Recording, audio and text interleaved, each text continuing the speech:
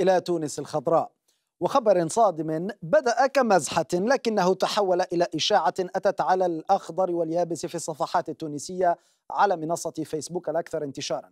حيث تداول الآلاف من الأشخاص المنشور التالي والذي يقول وزير السياحة يقرر إلغاء شرط الاستظهار بعقد الزواج للإقامة في الفنادق كثيرون أدركوا أن الخبر مفبرك وأعادوا نشره مع تعليقات ساخرة لا يمكن عرضها على الشاشة.